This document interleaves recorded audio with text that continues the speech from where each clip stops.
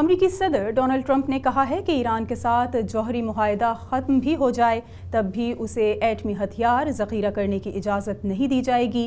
ادھر جوہری معاہدے کے مجوزہ خاتمے کی تفصیلات سے آگاہ کرنے اور مزید پابندیوں کے لیے امریکی سیکرٹری خارجہ مائک پومپیو مشرق وسطی کے دورے پر ہیں۔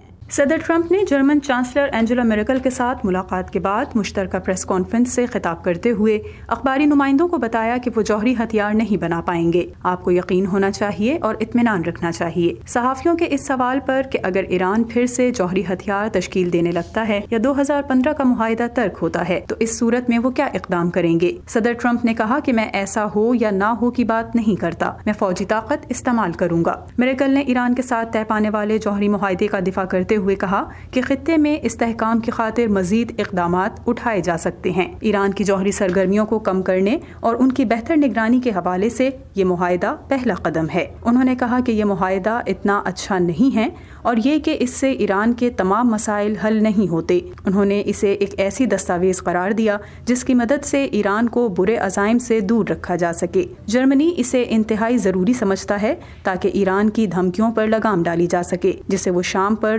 جغرافیائی اور سیاسی اثر و رسوخ ڈالنے کے لیے استعمال کرتا ہے۔ میریکل نے کہا کہ ان کی حکومت امریکہ کے ساتھ قریبی بات چیت جاری رکھے گی۔ ایسے میں جب صدر دو ہزار پندرہ کے ایران کے ساتھ ہونے والے جوہری معاہدے سے متعلق فیصلے پر پہنچنے والے ہیں، جسے چین، فرانس، جرمنی روس، برطانیہ، امریکہ اور یورپی یونین نے ایران کے ساتھ طے کیا تھا۔ اس موقع پر ٹرمپ نے ایک مرتبہ پھر دو ہزار پندرہ میں طے پانے والے اس معاہدے کو تنقید کا نشانہ بنایا۔ ٹرمپ انتظامیہ کو ہر تین ماہ کے بعد امریکی کانگریس کو تصدیق کروانا پڑتی ہے کہ آیا ایران معاہدے کی پابندی کر رہا ہے۔ اس کی اگلی مہلت کا دن بارہ مئی ہے۔ اس بار صدر ٹرمپ میریکل کے ساتھ زیادہ گرم جوشی سے ملے۔ تاہم، اس گرم جوشی کے باوجود متعدد عالمی مسائل میں دونوں ممالک کے موقف میں کوئی واضح قربت دکھا دکھائی نہیں دی۔ ادھر امریکی سیکرٹری خارجہ مائک پومپے نے کہا ہے کہ امریکہ، سعودی عرب کے خلاف حوثی باغیوں کے حملوں کو ایرانی خارجہ پالیسی کے خطرے کے طور پر دیکھ رہا ہے۔ یمن میں حوثیوں کی جانب سے گرائے جانے والے میزائل ایران نے فراہم کیے تھے۔ علاقائی طاقتوں کو اس خطرے سے نمٹنے کے لیے مل کر کام کرنا چاہیے۔ سیکرٹری خارجہ پومپے سنیچر کو ریاض پہنچے تھے، جہاں انہوں نے سعودی ولی عہد